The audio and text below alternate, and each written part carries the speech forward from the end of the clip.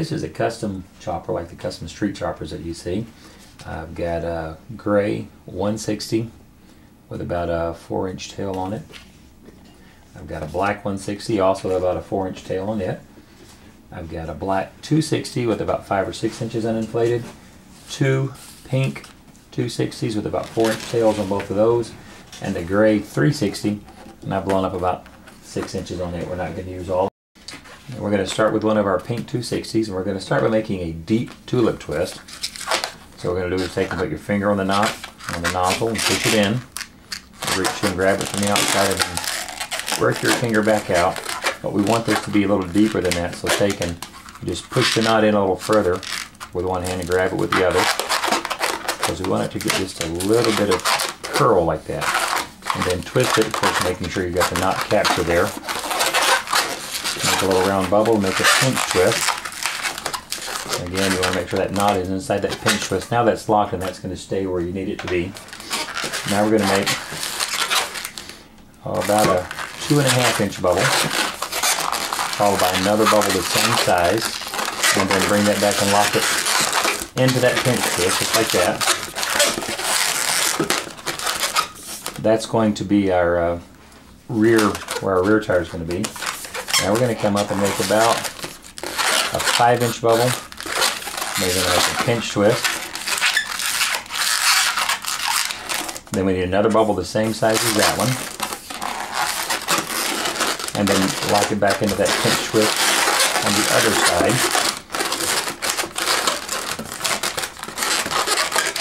Now we're going to make about an inch, maybe a little more an inch and a half bubble followed by two pinch twists to make a round bubble. Make that a pinch twist.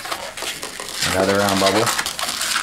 Make that a pinch twist. And the rest of this we're just going to pop off. We don't need any more. Secure that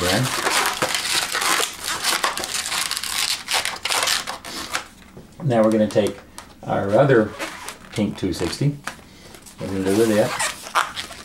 We're going to start by making a little round bubble in the end that into a pinch twist. Then we're going to make about a two and a half to three inch bubble. It needs to be shorter than this one here. I'm going to make it about a two inch bubble. Twist it into the pinch twist here at the bottom. Now we need another bubble the same size. Bring it back up and twist it into the pinch twist on the end of that one. Like that. Now we're going to need some long forks. This is a chopper type custom knife. You see the ones with the wheels that stick way out. So we're going to make about that's about an 8 inch bubble. Then we're going to make one more bubble the same size. Twist that back into the two pinch twists there. And then the rest of this we're just going to pop off because we don't need it anymore. Secure that in like that. Pop that away. That's the basic frame of your bike there. Now we're going to take, excuse me, our black 260.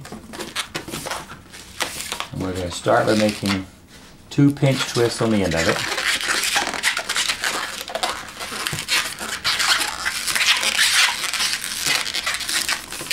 And we're going to make a little small bubble that's maybe a half an inch. And we're going to twist it into this bubble here in the middle.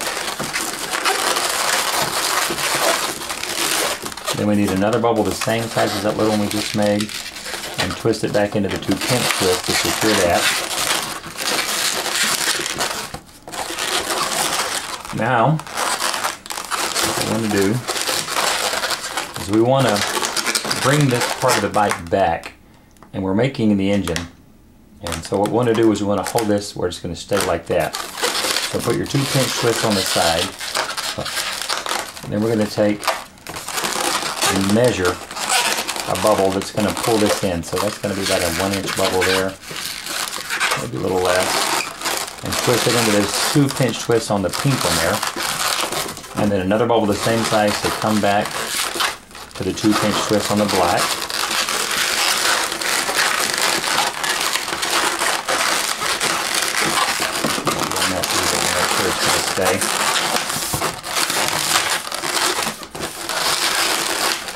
So now you can see how that's holding that down there. Now what we're going to do, out of the way so you can see where I'm going with. I'm going to make two more little small bubbles, just like that. And then I'm going to lock those once again back into those two pinch twists on the black. Now I want to take and run the black and I'm going to squeeze it a little bit soft. I want to run it in this gap back to this back here. I'm going to squeeze it so it's kind of soft. Tuck that up in there. And when I get to that pinch twist at the back of the pink, twist it into that. And I know this is all looking a little odd right now, but it'll all make sense eventually. At least I hope so. That's going to be our engine. Now what's left, we're going to make our back tire. So we're just going to wrap it around these two pinch twists at the back and come back into there.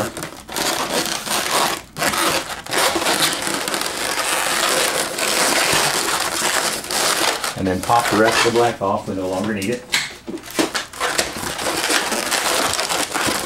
that end up in there. Bring your fender back and now you can see that tulip twist is going to come back over that back wheel to make our back fender. This is going to be where our engine is. So now we're going to take and grab our um, black, uh, excuse me, our gray 360. We're going to twist a little small, about a one inch bubble on the end, and we're going to twist that into the front here. This pinch twist at the top of the front forks. That little bubble is going to represent our headlights. Now the gray 360 is going to be our gas tank. So we're going to take and bring this back and figure out where it's going to meet up with that. And you want it a little stretched out to give it a kind of elongated look.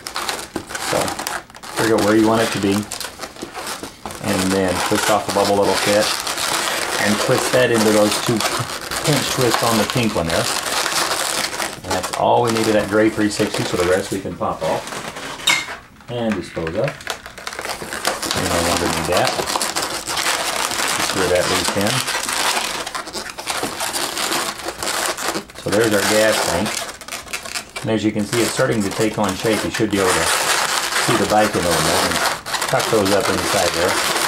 There we go. So it'll fit a little prettier. Now we're going to take our gray 160. We're first going to make our spokes for our front wheel. So you're going to make a little three quarter inch bubble. Another bubble the same size. Grab the knot and the nozzle end and lock those two together. And then we're going to make three more pairs of those bubbles, the same size, and each time we'll make a pair. And then lock them together. Another pair. And then lock them together and start wrapping that around. And then one more pair of them. Just like that. And then lock those together by wrapping that around a couple of times. And we're going to pop off the gray 160, but we want to keep it inflated because I'm going to use that for our handlebars. So tie off this end here. Or let go of it. Don't worry if that happens, just grab another and blow it up, pretend like it didn't happen. And you're going to take your spokes and attach them into the front of your front fork, bring them up into the middle.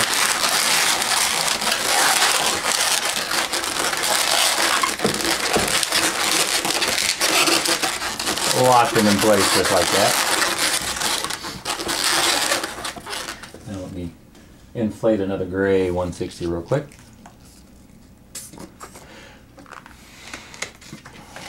To replace the part that I let go. And then we just need to make our handlebars. So we're going to make a little small, about a one inch bubble, a pinch twist. Then we're going to make about a six or seven inch bubble, another one, and then another pinch twist.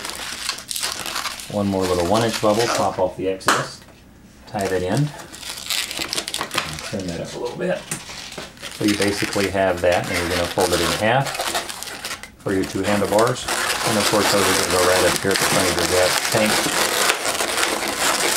And that tank twist. Give them a little bit of shape there. So now you've got your handlebars, and the bike is definitely starting to take more shape now. All we have left is our black 160 what we're going to do with it is first make our, our front tire. So what you want to do is poke it up into forks and then measure around to where it's going to meet. Like that. Remove that. Keep this other part inflated. We're going to use it to fill out our, our seat here in a moment. Tie that piece off. Set it aside. Now our front tire. Just take and poke that back up through there. Tie the two ends together. And then put the part that's tied up in the middle of the, the forks. Wrap the other part around your spokes. There's your front tire. Now we're going to take the remainder of our 160 here. We're going to twist the nozzle end, or the, the knotted end into the two pinch twist there at the back of the gas tank. Now we're going to take and lay these along here till you get to that pinch twist there and we're going to twist them in there just like that. Wrap that around to secure it in place. Now before we go back up and complete that, I'm going to take and wrap this up over the top of the seat and twist it in again. That gives a little more definition on our seat with the backrest. And then once you've got that, you're going to make one more little bubble there and come back with a two pinch twist at the back of the gas tank. It's a little distorted now, but we'll straighten it all up in a minute.